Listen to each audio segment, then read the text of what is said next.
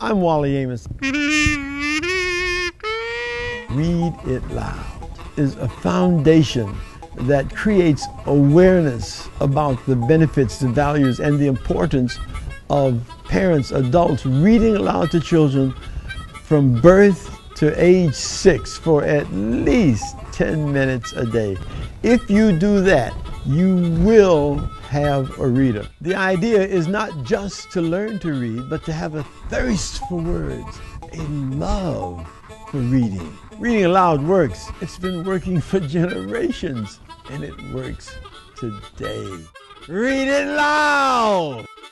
Boys and girls, ladies and gentlemen, good afternoon. Curious George and the pizza. The publisher is Houghton Mifflin.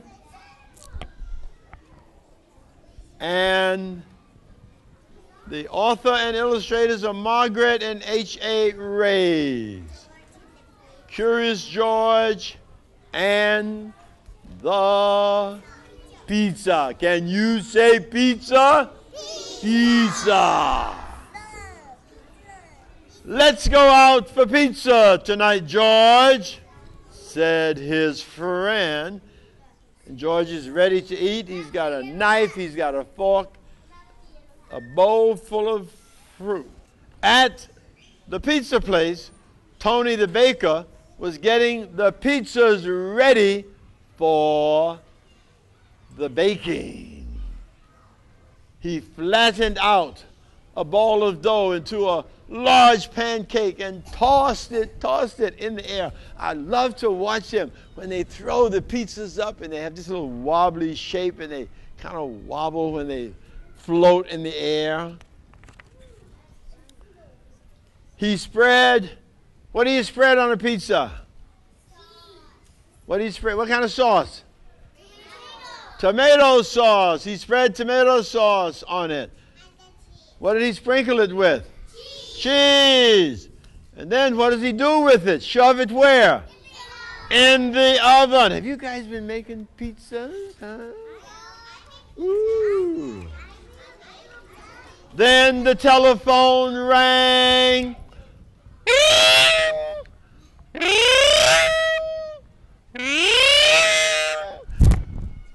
A fellow from the factory wants a large pizza delivered in a hurry.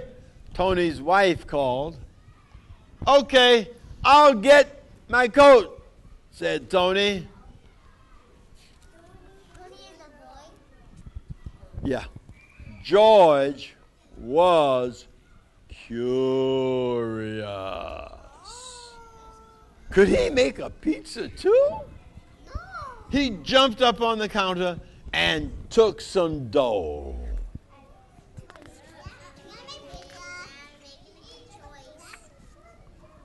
George pounded the dough into pancakes.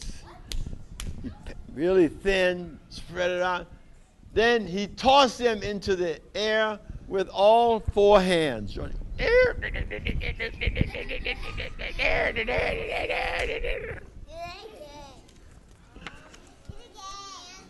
One of them plopped right in the middle of a table where a woman was sitting. Another landed on a coat rack. One fell on the jukebox. The flying pizza dough all over the kitchen, all over the restaurant. And one landed smack on Tony's head. Who did that? He shouted. It looks like a hat.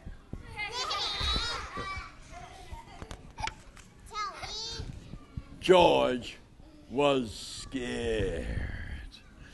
He ran out and jumped into a small truck to hide.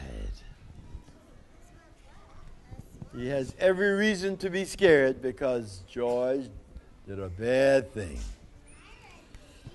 That customer is still waiting for his pizza, said Tony's wife. You'd better hurry. They'll be closing the factory in a few minutes. Ah, I forgot all about it, said Tony. Quickly, he packed the pizza in the back of the truck and drove off. George was trapped inside. Help! Help! I can't get out. Help! Sorry, George, we can't hear you. The truck sped to the factory, but it was too late. The gates were locked. Oh no, Tony groaned. How will I ever deliver the pizza? How's he going to? That's a good question. How will he deliver the pizza? Yes, sir. Huh? Because the gate is a lock.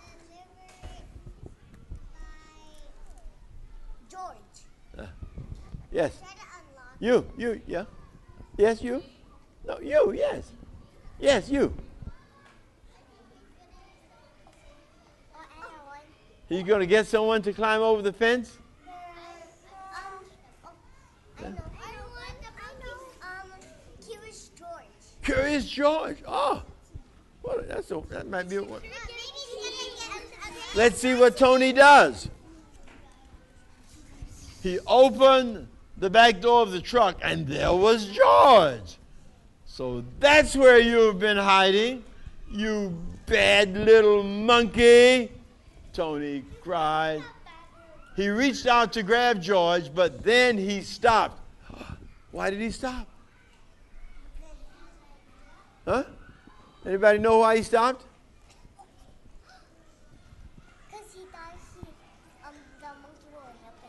He thought the monkey would help him. All right. I've got an idea, he said. You're just the one I need.